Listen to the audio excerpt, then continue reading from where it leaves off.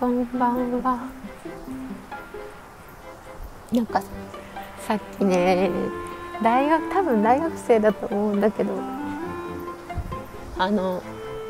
なんだっけ。あの黒人のね4人組が自転車でなんかスポーツしてるのかな。わかんないけどそういう感じの。ふう。4人組が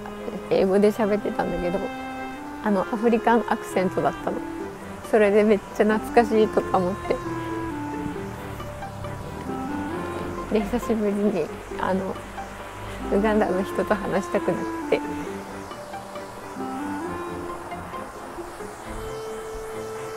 メッセンジャーを消してるんだけどあのインストールしてしたのね。そしたら何件か 何件かメッセージ出て一人がさ一人がさなんだっけチリのあのなんだっけ言語交換で仲良くなったチリの子であの変な変な若い若い子の日本語喋る子なんだけど。多分ねチャット GPT で翻訳したやつ送ってきて。そうもうなんかそれで日本語訳したらもう簡単じゃんって言ってなんか今夢中になってるっていうっていうのをそれで訳したやつで送ってきたのねそしたらさ普段使ってるさ日本語がすごくまあなんていうのあのめっちゃ若い子たちの話し方だからその AI が訳したやつ。送ってきてもなんかその友達が話してるように感じない。他の人の言葉って感じで。なんだろう。言葉うん言ってることもそうだし書いてある日本語もそうだしいやあなたじゃないでしょって感じな感じだった。AI はさそこまではあれだよね。綺麗な。正しい日本語を使えたとしてもさ。まあでもあれなのかな。普段使ってる日本語とかが。分かってくるとその人らしい日本語に訳したりとかしだすのかなそのうち。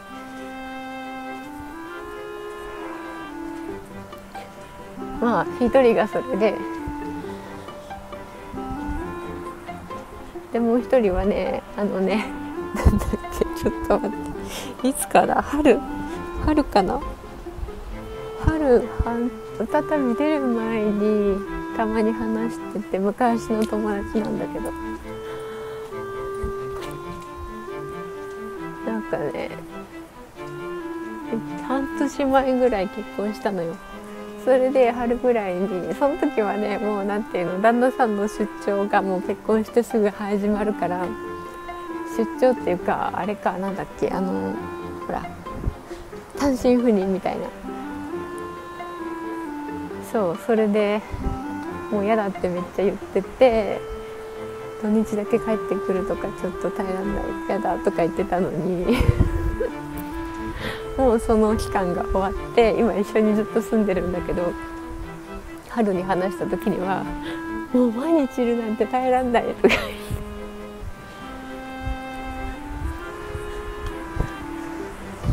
もう全然言ってること違って「でしょでしょ」とか「旦那さん毎日いたら家事終わんないでしょ」ってやること多くてもうなんかもうしんどいよねとかっていう話をしててた子がまた電話かかってきててっていう着信があって。まあでもその時の話ではなんかなんか今住んでるとこがすごい都会でとにかく旦那さんも結婚する前田舎に住んでたんだけどなんか都会の方に来てくれたんだって。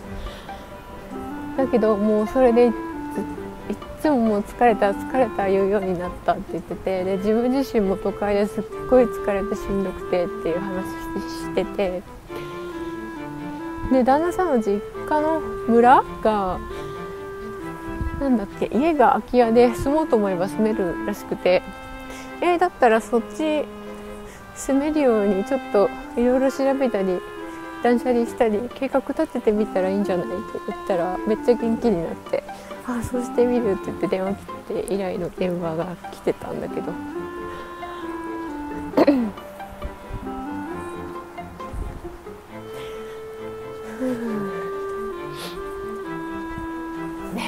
か。いや難 しかった。なんかさその友達が結婚する時はさなんかやっと一緒に住めるじゃん。だからもう大喜びで。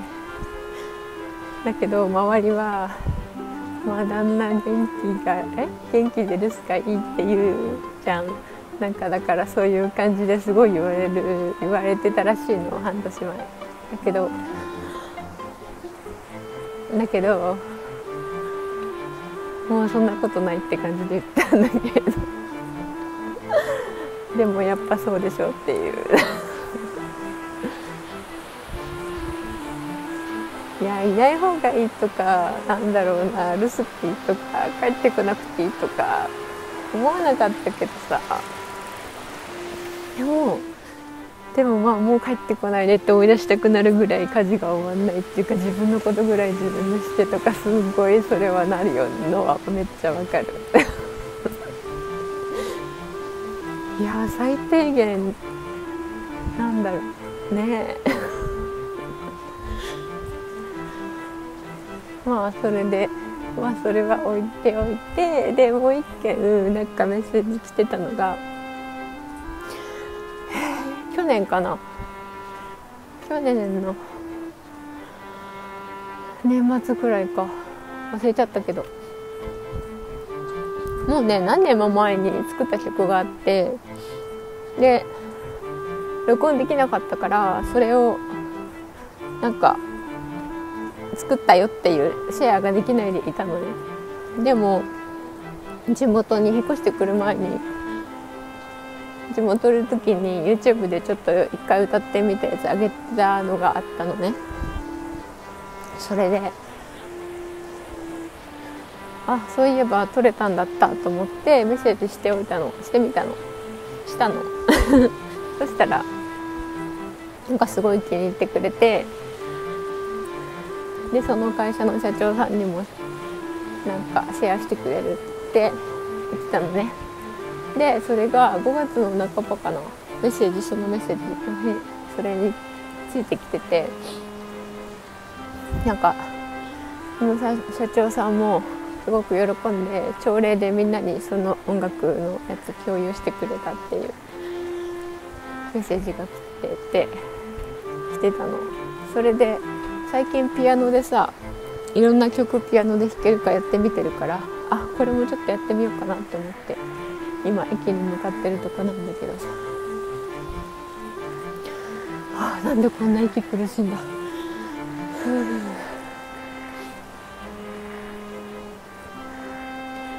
そうそうそう。それがねあのなんかね「心か」っていう多分「心と体の心か」っていう会社が作ってるリブマックス F 分の1っていう商品があってそれのそれのなんだろうな。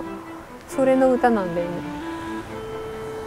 でめっちゃいい曲ですっごいいい曲なんだけどあのなんか病気の予防する機械で病院とかも使われてるのかな。なんかスポーツ選手とかも使ったりしてて。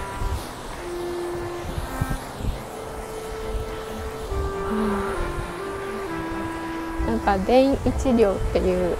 ので、あのー、血液をきれいにしていく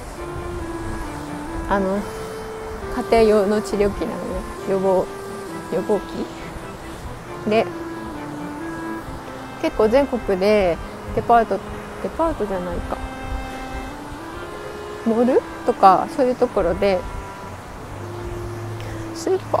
ー？モール？とかそういうところで体験会を結構やってて。一番最初にね出会ったのが地元で私が2020なんかちょうどブラック企業にいてもう本当に体やばい時に出会ったんだけどだからそこ通っててでその時はもう私の家族ほとんど通ってておじいちゃんもおばあちゃんもお母さんも妹も通っててでおばあちゃんが1回だけ体験しただけであれ？指がまっすぐになったって。なんかなんだろうな。リウマチの木があるって言っててでなんか曲がってた指があったらしいんだけどなんか指が治ったって言ってその後もう杖がないと歩けなかったんだけど杖がなくても歩けるようになって でその後本当にみんなびっくりしたのが髪の毛がどんどんどんどん黒くなっていったのでで髪の毛ってさ血の余りって言うんだって。それでなんだろう血液がきれいになっていっていろいろ治ってきて悪いとこも治ってきてだから余ってきたのかね。それで髪の毛が黒くなってきて。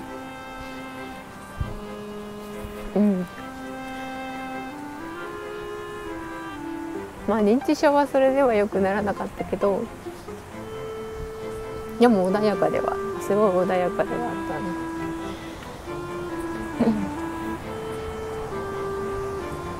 たね。でその体験してる間20分ぐらいかな。1人20分ぐらいかな。でその待ってる間も健康の話を聞くの聞くのね。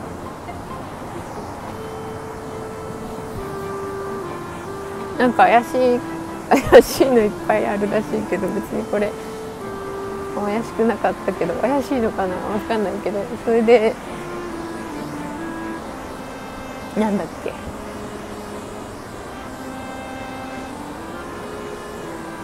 そう健康の話を聞いて結局ね血液が汚れちゃうことで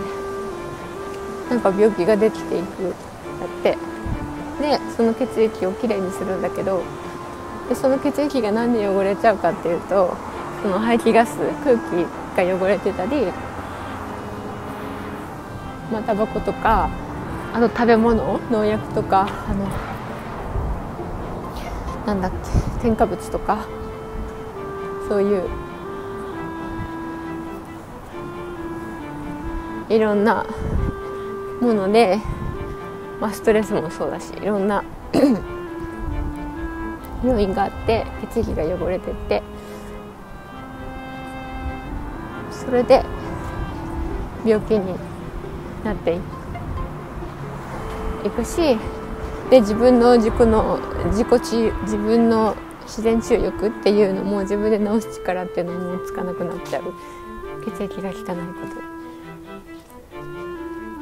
でもその治療器をに1日20分とかもう私私めっちゃかかってたけどそう。かかることで血液をきれいにしていってでその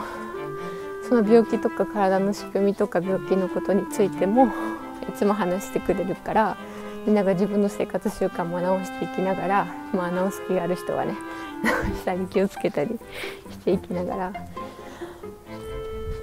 まあ、そういう健康についての知識も得ながら治療器かかって中気量にきれいにしていくのね。で、えー、最低何ヶ月か分かんないけど3ヶ月ぐらいいたかな。そのたくさん通う人が増えれば増えるだけ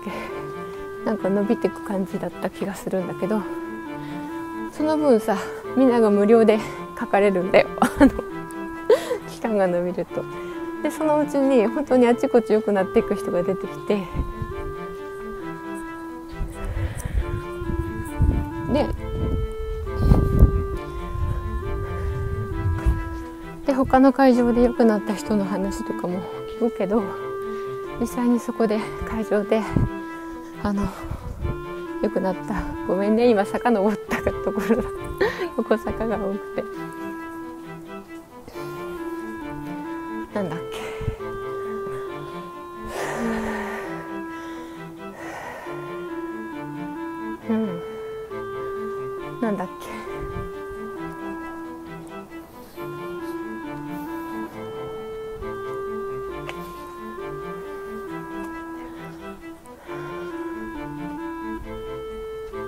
うん、その会場で毎日通ってて良くなってくる。私のお母さんあの静脈瘤足のさ血管がボコボコしてるやつあの浮いちゃってボコボコしちゃうのが何人目か子供を産んでからずっとあってスカート履けなかったって言ってたんだけどそれも綺麗になってなんか「ああこれでスカートが履ける」ってお喜びしてた。にもしてたんだけど。ででその治った話とか聞くともうやっぱり感動するんだよね。なんかもう手が痛くて箸も持てなくなって好きな料理ができなくなってたっていう人が手が治って箸が持てるようになって料理ができるようになったとかであちこち出かけるのが好きだったり旅行とかねの人ができなくなっちゃっててでも足が治ってまた羽ばたいていけるようになったとかそういう話をねいろいろ聞いてでその会社の会社の社長さんとかの会社の理念の話も聞いてたの。あの日本がさあの長生きする人が増えたけどこう寝たきりになってで本人も長生きする本人もでまたその介護をする家族ももう大変な思いしてる人がいっぱいいるから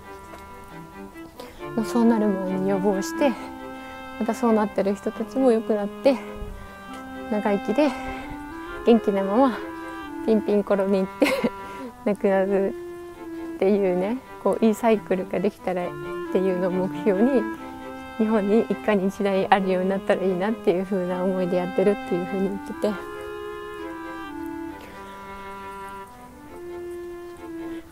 でも実際本当にさこう介護でやっぱりうちもそうだったけどなんかやっぱ介護で家族がすごくやっぱり介護される側もそうだし辛いしで介護する側もさ辛いしで結構大変だった時があったのね。だからそういうのもでそれもうちだけじゃなくて、まあ、結構あるだろうなっていうのもあったしだからなんかそうだなって思って。うん、なんか本当にみんなが元気で過ごせたらいいよなってなんか聞きながらもそうだしかかりながらもそうだし思って。でそれでなんかある時にそのいろんな聞いた話でできた曲なんだけどすっごい曲で「ああいい歌だ」っていつも聞きながら思うんだけどそう。でそれをいつかその担当の人に 聞いてもらおうと思って送ろうと思ってたのに全然録音できないで何年も経っちゃったみたいな。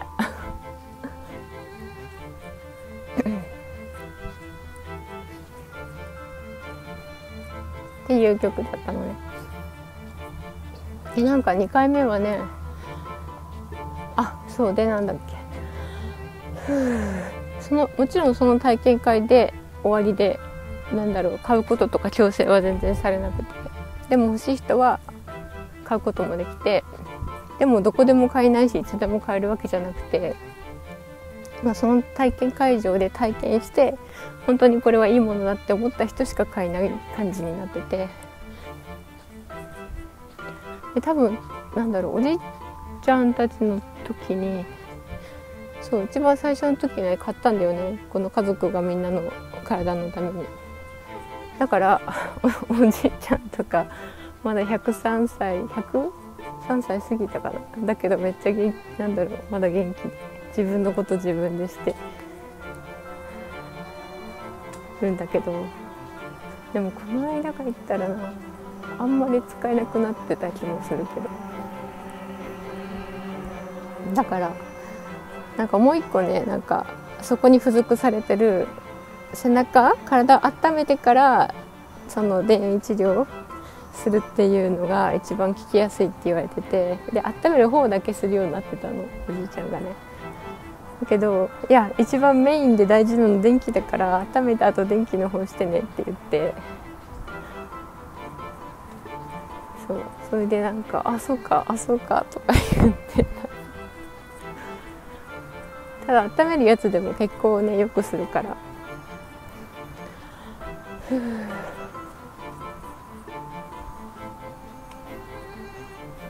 でなんか横浜にいる時にその今回の曲送った人に会ったんだよねなんかその横浜にも体験会場あってちょうどなんかお母さんがんになったり私も体調また崩したりしてる時でその時にたまたま見つけて「あまた体験やってる行こう」って言ってお母さんと。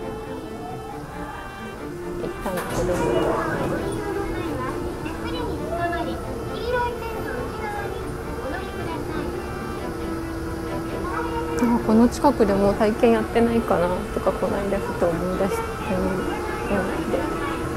コロナの間どうしてたのかな。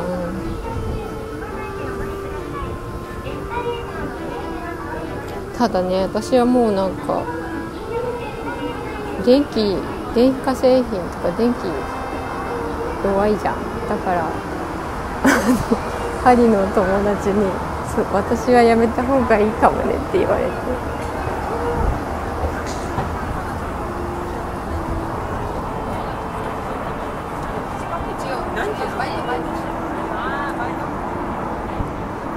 なんかうん。っていうのもあった。それは聞いてみてないけど